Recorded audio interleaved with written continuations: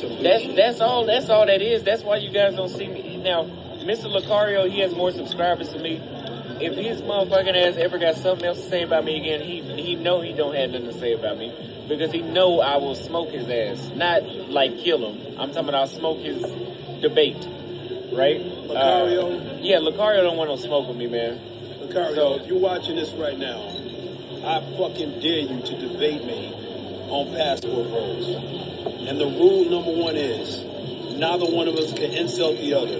You can't call me no bitch. You can't do that. I can't do it to you. We have to actually debate.